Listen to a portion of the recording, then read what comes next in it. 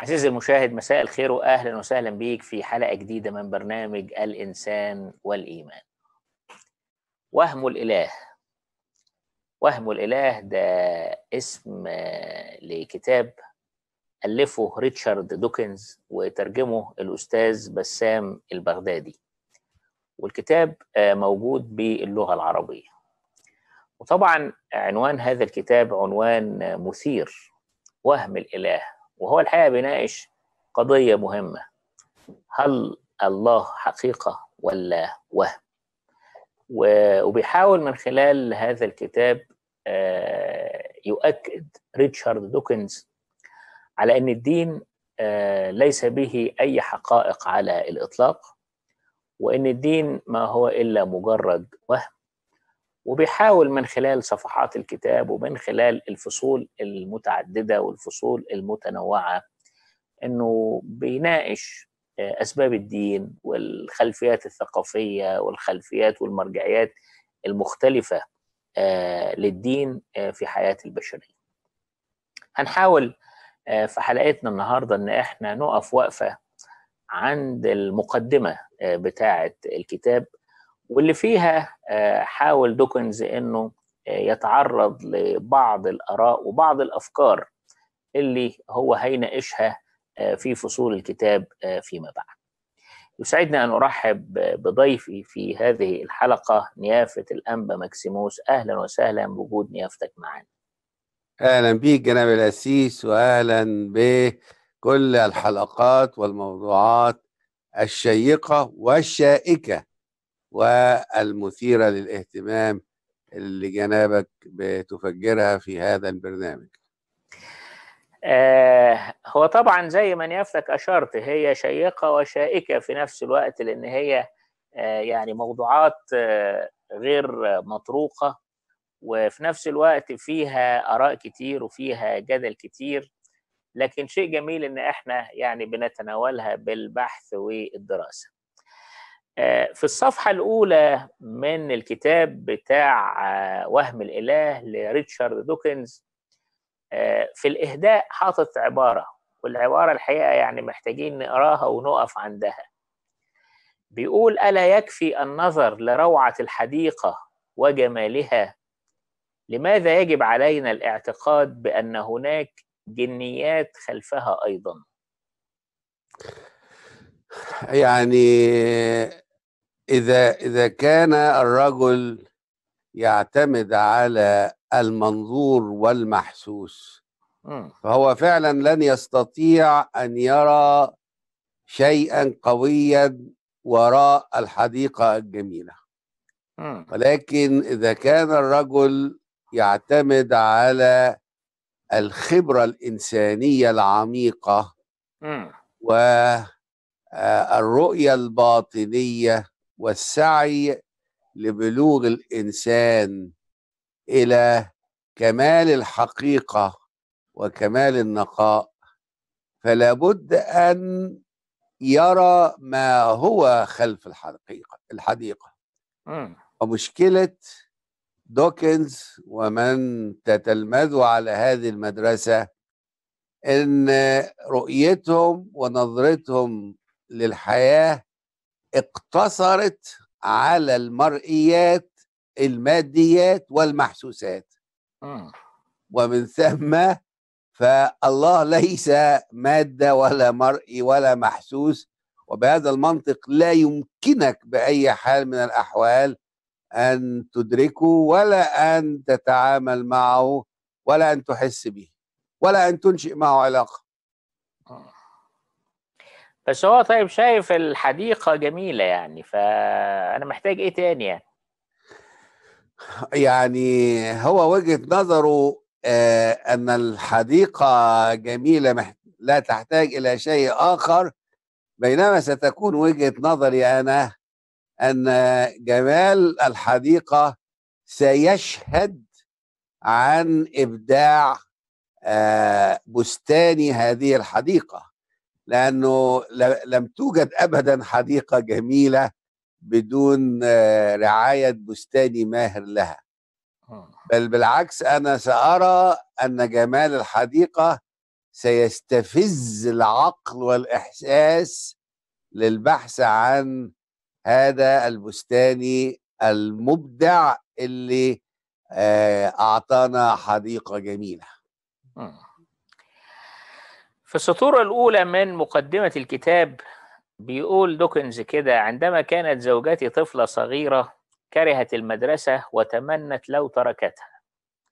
بعدها بأعوام كثيرة وعندما كانت في العشرينات صارحت أمها بتلك الحقيقة المرة وبدهشة حزينة قالت الأم يا ابنتي العزيزة لماذا لم تقولي لنا وقتها؟ جواب ليلى يومها هو عبارتي لهذا اليوم. ما عرفت إني كنت أستطيع فعل ذلك. ما عرفت أني كنت أستطيع فعل ذلك.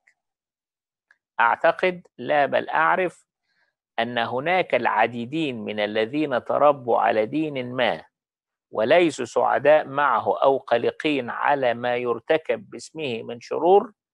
أناس يشعرون بحنين ضعيف لترك دين آبائهم ويتمنون لو استطاعوا لذلك سبيلا لكنهم لا يدركون أن ذلك هو أحد الخيارات الممكنة بالفعل.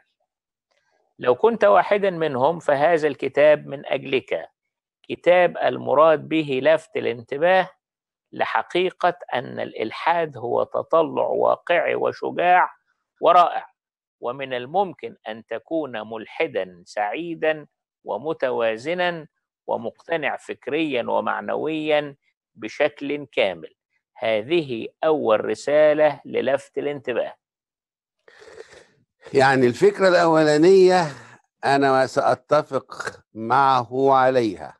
اللي هي؟ ألا وهي إنه لا ينبغي أن يكون المرء مستعبدا لموروثات دينية دون أن يتفحصها وأن يتفهمها وأن يقتنع بها. من هنا إحنا متفقين وهذا كلام عاقل.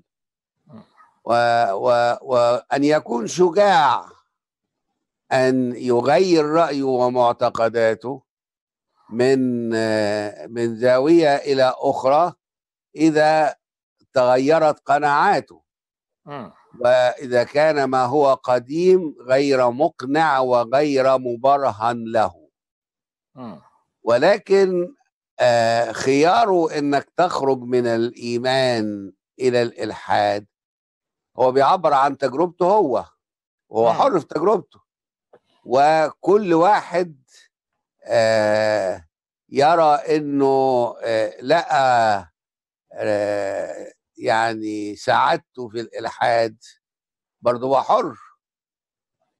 بس إحنا لينا رأي تاني إنه أنه كان يعيش مثقلا بالإحساس بال بال بالذنب وبالإحباط تحت آه، الوصايا الدينية بتاعه آه، الشريعة في دين ما.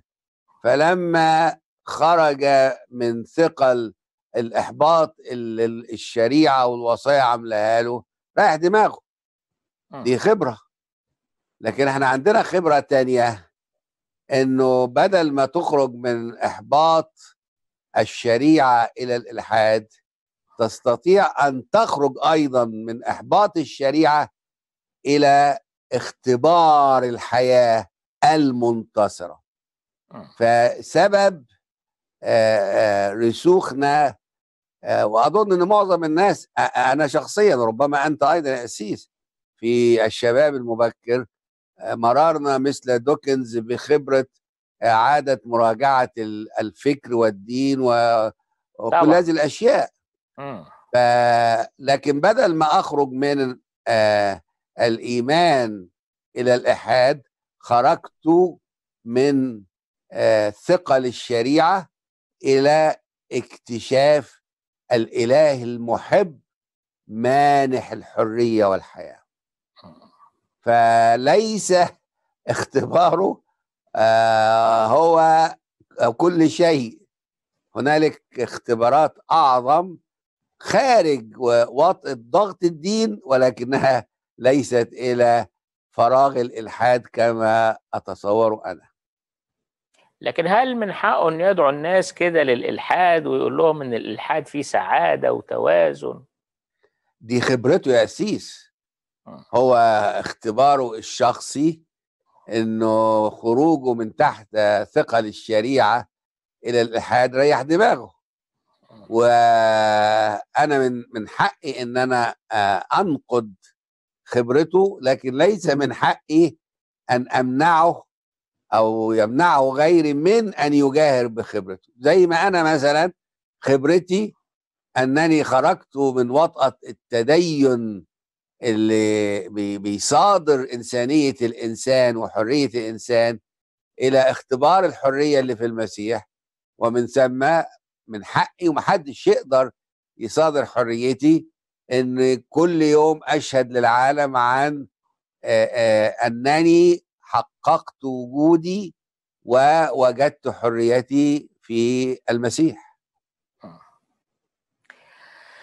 بيقول في كانون الثاني 2006 قدمت برنامجا وثائقيا على التلفزيون البريطاني بعنوان جذرة الشر. بادئ ذي بدء لم يعجبني العنوان فالدين ليس أصل كل الشرور.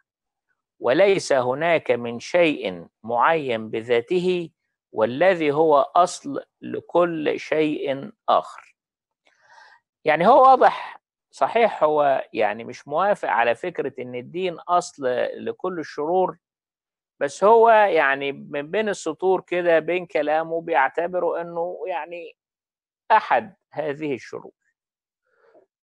إذا أردنا أن نكون عادلين يا سيس فالدين هو حصانك مم. تستطيع إنك آه، يعني تمتطي حصانك وتندفع به إلى الجرف ما تقولش بقى إن الحصان هو اللي دفعني إلى الجرف أنت اللي استخدمت مم. حصانك لكي تندفع به إلى الجرف هو صالح لكل شيء لأن غيرك آه، استخدم هذا الحصان لكي يصعد به إلى آه، قمة الجبل مم. فهل آه، هنالك إمكانية إنه الدين أخذ البعض إلى الانحدار إلى جرف الهاوية التاريخ.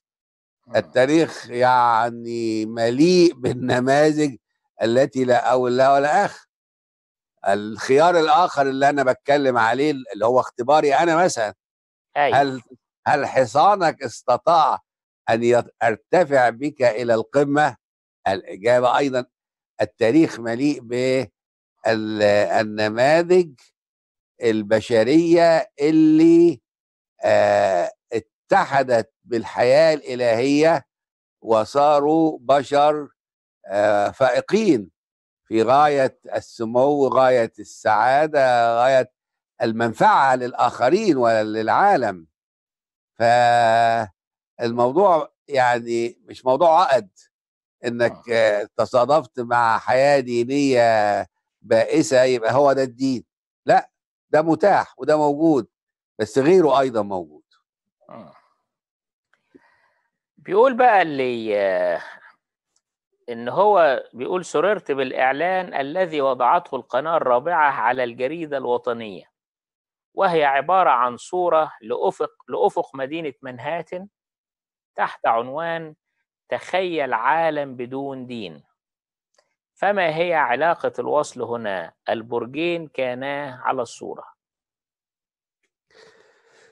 ما هو يعني عشان نتكلم بطريقة واقعية لما يبقى فهم الدين بالنسبة للبشر أو للناس أو لبعض الناس الصورة ال- الأليمة بتاعت برجي التجارة يبقى مم. طبعا الدين قلته أحسن ما فيهاش فصال يعني ما فيهاش مم. مجاملات ف آه، أما بلاش برجي التجارة أما ت... أما يبقى علامة الدين هو محاكم التفتيش في العصور الوسطى يبقى الدين مم. قلته أحسن طبعا مم. مسألة لا تحتاج إلى مراوغة آه، هنالك النماذج البائسة التعيسة اللي صنعها البشر باسم الدين اللي تصل إلى نتيجة آه، الفكرة إن الدين قلته أحسن ولكن هنالك أيضا على الشاطئ الآخر آه، النماذج المبهرة المتفوقة اللي قالت إنه لا غنى عن الدين بهذه الصورة السامية. بيقول تخيل مع جون لينون وجون لينون ده مغني وشاعر وعازف جيتار لفرقة البيتلز. بيقول تخيل معه عالما بدون دين عالم بدون انتحاريين أو تفجيرات 11 أيلول بلا تفجيرات لندن أو حملات صليبية بدون تقسيم للهند أو حرب فلسطينية إسرائيلية بدون مذابح الصرب أو الكروات للمسلمين وبدون اضطهاد لليهود كونهم قتلة المسيح. أو مشاكل في أيرلندا شمال بدون جرائم الشرف أو بهندام أو مبشرين إنجيليين بهندام لامع على التلفزيون الأمريكي يأخذون أموال السذج. الرب يريدك أن تعطي حتى الألب. تخيل أنه لا وجود لطلبان ليفجروا تماثيل بوذا الأثرية. لا قطع للرؤوس بشكل علني للكفار ولا سياط على جسم المرأة لأن أحدا لمح من جلدها سنتيمترا يعني إذا وصلنا للنقطة دي فلابد أن نتفق مئة بالمئة وليس تسعين بالمئة. مع تشارلز دوكنز ومع الراجل المغني اللي أنا مش فاكر اسمه اللي قلت عليه ده جون لينون. في آه، لينون في ال- القصيدة بتاعته كلام فارغ وشيء لا إنساني لا يمكن أن يقبل أن يحولوا هؤلاء آه، الدين إلى هذه المعاني الحقيرة والبائسة. وأيضا شيء غير مقبول أن يبقى البشر سذج ويتدينوا بمثل هذا النوع من الفهم الديني أو يمشوا ورا ناس بتضللهم بهذا الشكل دون أن يسائلوهم عن بلوغ الحقيقة. طبعا. يعني العالم بدون دين كان هيكون أجمل وأفضل؟ لو الدين كده زي ما هو بيشرح يبقى قلة الدين أحسن 100 مرة مم. لكن في جانب تاني بقى اللي هو مش شايفه وما اختبرهوش آه. اللي أنا اختبرته مم. وهو ال- السمو ال- الروحي والعقلي والنفسي اللي أخذني إليه إيماني بالمسيح مثلا مم. مم. وغيري عنده اختبار مشابه وغيري وغيري مم. مم. بيقول دوكنز إن الاحتمال الأكبر هو عدم وجود الله وبيحس إن فكرة إن وجود مصمم والوهم عن تصميم الحياة ده يمكن تفسيره بطريقة أكثر عقلانية. آه، منطق بناء آه، ومنطق هيكون بناء على نظرية الانتخاب الطبيعي لداروين.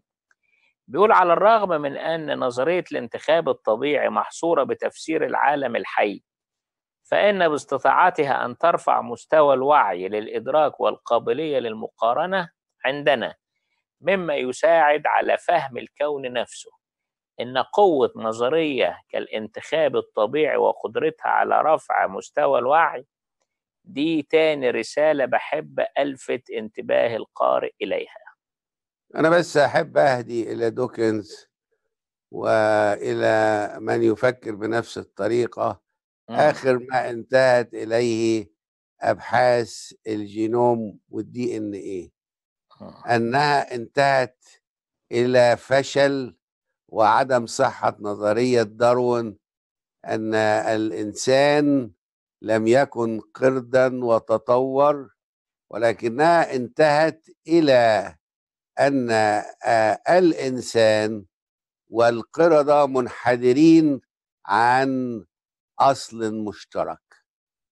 ففكرة إن القرد اتطور وبقى إنسان على غرار ما أقنع به داروين ال- البشرية لسنين طويلة آه، هدمتها الأبحاث العصرية للدي إن إيه. لكن الانتخاب الطبيعي. ما هي ما هي الفكرة بتاعه داروين انحصرت في أن الانتخاب الطبيعي يقول إلى أن الإنسان كان قرد مم. لكن الانتخاب الطبيعي والتطور حقيقة لا يمكن تجاهلها مم. الإنسان تطور عبر السنين من آه، في في في كيانه وفي طبيعته وفي سلوكياته وفي كل شيء آه، التطور موجود عبر السنين وال والقرون في الأنواع المختلفة. ففي فرق بين ال ال الانتخاب والتطور الذي لا يمكن إنكاره بأي حال من الأحوال وبين الداروينية اللي انتهت لفكرة إنه الإنسان كان قرد وبقى إنسان بيستكمل دوكنز في مقدمته بيقول ربما تعتقد بأن الوجود الإلهي هو إحدى الضرورات لأن علماء التاريخ والحياة أخبرونا بأن المؤمنين كانوا العامل الأكبر في نشوء وارتقاء كل الحضارات الإنسانية. لو وجدت هذه الفكرة مقنعة فأرجو أن تقرأ الفصل الخامس في كتابه عن جذور الدين والذي يشرح سبب انتشار الإيمان في كل مكان هل أنت ممن يعتقد بأن وجود الدين ضروري لتقويم الإنسان وإيجاد أسس أخلاقية حصينة؟ ألا نحتاج لوجود إلهي كي نكون صالحين؟ عايز يقول لنا في الآخر أن وجود الدين بحد ذاته هو أمر مضر للبشرية هو أنا عندي رد على دوكنز من التاريخ المعاصر.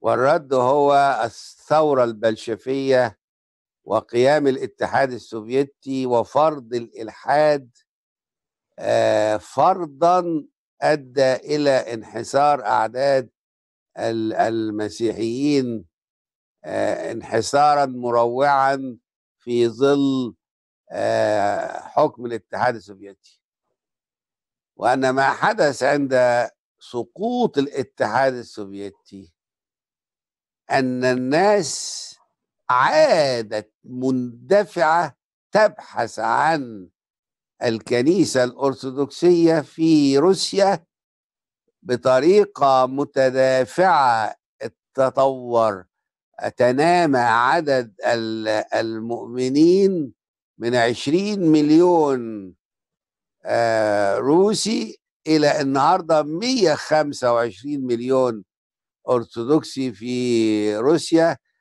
خلال الفترة من وقت آه، آه، انهيار الاتحاد السوفيتي إلى يومنا هذا هذا في حد ذاته بيجيب على دوكنز بأن هنالك حقيقة غائبة عنه. وعن سائر الملحدين وهذه الحقيقة قائمة وكائنة في كيان الإنسان ولم يجدها إلا من خلال آه، الإيمان اللي هنا اتطبق في خبرة الروسية في الحياة المسيحية والإيمان بالمسيح. بيقول إذا كنت تشعر بأنك عالق في الدين الذي تربيت عليه فإذا فإن السؤال الذي يطرح نفسه هو كيف تم ذلك؟ الجواب نجد عادة في التلقين الذي نتلقاه في مراحل الطفولة. لو أنك متدين فالاحتمال الأكبر أنك على دين آبائك. لو ولدت في أركنساس ستفكر بأن المسيحية هي الدين الحق والإسلام كذبة كبرى. وتعلم تماما بأن العكس هو الصحيح فيما لو كنت مولودا في أفغانستان. لهذا فأنت ضحية تلقين ديني من مراحل الطفولة في كل من أركنساس أو أفغانستان.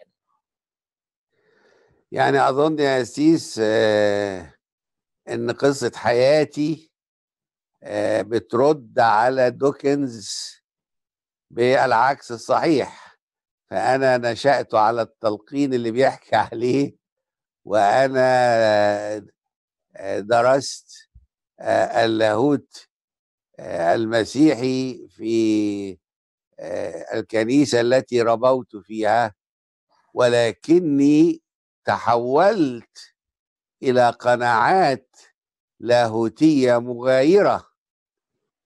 ومن ثم فنظريته آه، أن التلقين هو الذي يشكلك آه، هي نظرية تناسب خاملي العقول مم. ولكنها غير صحيحة الانطباق على أصحاب العقول النشطة والنفوس الحرة. بس طبعا عدد كبير من الناس الواحد بيبقى على دين آبائه إحنا مش أنا مش عايز أقول إن دين ابائه وحش مم. بس يبقى على دين ابائه بعد دراسة واقتناع أنا مش بقول في حد وحش وحد حلو مم. لكن أنا بقول إنه ينبغي أن تكون هنالك آه، آه، الحرية لبناء اقتناعات شخصية فأنا ما, تحولتش عن المسيحية إلى ديانة أخرى ولا حتى عن الأرثوذكسية إلى طائفة أخرى. لكني تحولت إلى منهج آخر في اللاهوت الأرثوذكسي اللي هو اللاهوت الآبائي مثلا في قصتي. هي فكرة الحرية والتحول وبرضو لا أعني بفكرة الحرية والتحول إن أخطئ الآخر. ولا إني أقلل من شأنه. أنا فقط أريد أن أرفع من شأن الحرية وإعمال العقل. مم. بيأكد ديكنز بيقول ليس هناك طفل مسلم بل هناك طفل لأبوين مسلمين. الطفل صغير جدا لمعرفة إذا ما كان مسلما. لا وجود لما يمكن تسميته بالطفل المسلم وليس هناك ما نسميه طفلا مسيحيا. يعني آه المنطق آه آه في الجزئية دي لا نستطيع أن نساومه عليه.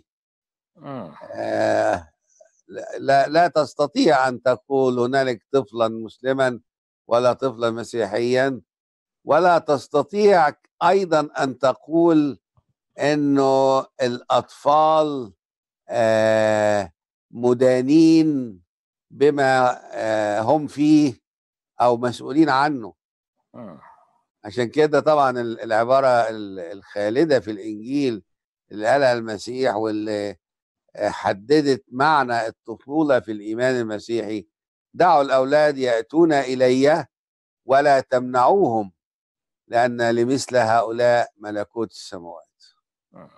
لما بيتكلم عن الأطفال اللي هي هنا في ال- في النص الأولاد آه قال مثل لمثل هؤلاء ملكوت السماوات بغض النظر عن هم مسلمين ولا مسيحيين ولا بوذيين ولا أيا كانوا مم. ولا أبناء ملحدين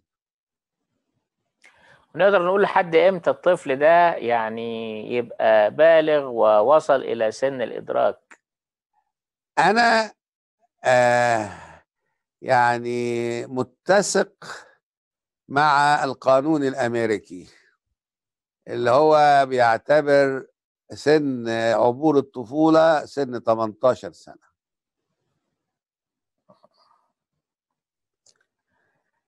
بيقول ريتشارد دوكنز بواسطة فهم روعة العالم الحقيقي كما هو وبدون الحاجة إلى أي تدين نستطيع أن نحصل على ما يكفي من الإلهام. الحق الذي اغتصبه رجال الدين وحرموا منه الآخرين عبر التاريخ. آه يعني جزء كبير من الكلام واقعي. مم. أن أن رجال الدين حجروا على ال الإنسان في حرية أن يلهم وأن يستمع إلى صوت الله وأن يتعامل مع الله مباشرة. بس كلامه صح من جهة الواقع لكن من جهة التطبيق مين قال إن إن إن الكلام ده هو الله؟ مين قال إن الحجر على الحرية هو مشيئة الله. مم. العكس صحيح مئة بالمئة الله هو خالق الحرية هو الحرية ذاتها وكل دي تصرفات بشرية. والعكس صحيح إنك إذا آه، يعني تركت عقلك يسبح حرا في مجال حرية الفكر حتما هتصل إلى العقل الكلي آه، وإلى معرفة الله اللي أنا بعرفه يعني. بس هو بيقول إن إحنا نقدر نحصل على ما يكفي من الإلهام بدون الدين. أحيانا هذا صحيح مئة بالمئة. نعم. يستطيع الإنسان من غير القواعد الدينية من خلال حرية العقل أن يصل إلى الإلهام. على المستوى اللاهوتي يا سيس. آه، هنالك قاعدة في اللاهوت ال- المسيحي أن الروح القدس له عمل في الخليقة خارج الإيمان قبل الإيمان. واللي بيأيد هذه القاعدة هي إنه لا يستطيع أحد أن يقول أن يسوع رب إلا بالروح القدس. اذا كان هنالك عمل للروح القدس آه، قبل الإيمان وهو الذي صنع الإيمان وبدونه ما كان ممكن أن يكون هنالك إيمان. فأن يكون هنالك عمل لروح الله في الخليقة خارج الأديان وخارج الإيمانات دي مسألة مقطوع بها ولا لا تقبل آه، التشكك إلا لمن يريد أن آه، يحبس الحرية العقل في إطار ما يدين به. بيقول دوكنز إن الإلحاد ليس بالشيء الذي يدعو للخجل على العكس إنه شيء يدعو للفخر بشموخ للمواجهة مع الأفق البعيد لطالما كان الإلحاد مصحوبا باستقلالية صحية للعقل وإبداع عليه تفكير بناء. دي وجهة نظره. التي أراها أنا وجهة نظر سلبية وغير صحية مم. آه، لأنها قايمة على تأكيد السلبي مم. وليس على تأكيد آه، ما هو مطلق مم. فالاتحاد حالة سلبية للإيمان آه، وحالة رفضوية للإيمان مم. فانا أرى أن الاتحاد آه، مهرب من الذين للذين ناءوا بثقل الشرائع ولكنه في نظري أنا هو هروب إلى الفراغ. كده عزيزي المشاهد بنوصل لنهاية حلقتنا. كان لينا يعني وقفة مع بعض الأفكار اللي آه، ذكرها. ريتشارد دوكنز في كتابه وهم الإله. ربما آه، تكون حلقتنا أثارت لديك بعض التساؤلات بعض الاستفسارات آه، عناويننا بتظهر قدامك على الشاشة. يسعدنا أن نكون دائما على تواصل. وفي نهاية هذه الحلقة لا يسعني إلا أن أشكر ضيفي الكريم نيافة الأنبا ماكسيموس. شكرا جزيلا لوجود نيافتك معنا. أنا اللي بشكرك يا سيس بدونك ما كانش ممكن تبقى هذه الحلقة الناجحة وهذا الحوار الشيق. شكرا جزيلا وبشكرك عزيزي المشاهد لمتابعتك لحلقتنا ونتقابل مع بعض الأسبوع الجاي وحلقة جديدة من برنامج الإنسان والإيمان.